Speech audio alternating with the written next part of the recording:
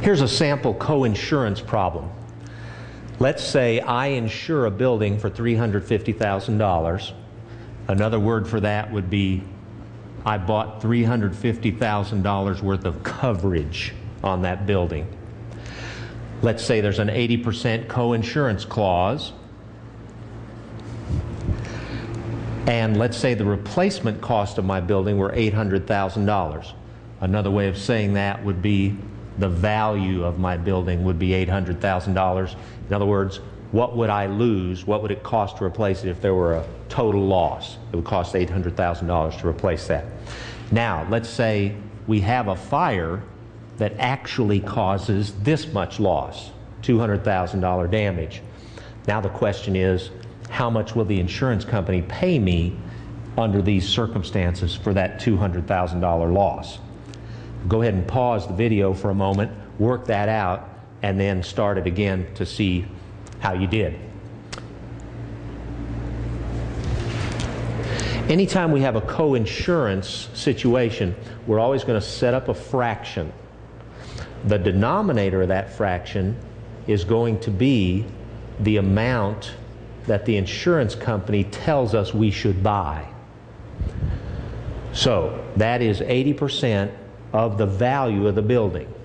In other words, they say if there were a total loss, you should have bought $800,000 coverage.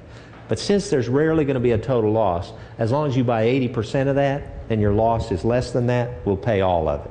All right? So we take 80% times 800,000 in this case. So our denominator would be 640,000. Is that what everybody got?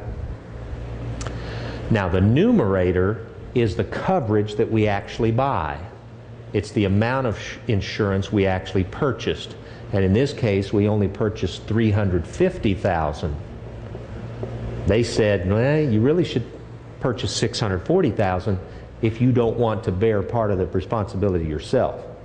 But we said, no, we'll go ahead and co-insure it with you. And we take that fraction, we always take that fraction, and multiply it times the actual loss, times how much damage there was. This, this would be the damage. So there was $200,000 worth of damage. So we can take 35, divide it by 64, and multiply that by 200,000. It should be a little more than half. A little more than half. What do we get? One Any pennies? What is it? That's it? Okay. So they would pay us $109,375. Anybody else get that same number? Okay. I don't have a calculator, just want to make sure that we were looking good. So this would be the answer under these circumstances. What if we had bought 640,000? What if we had met the co-insurance clause? How much would they have paid then? They would have paid the whole amount, wouldn't they? If we had bought $640,000 worth.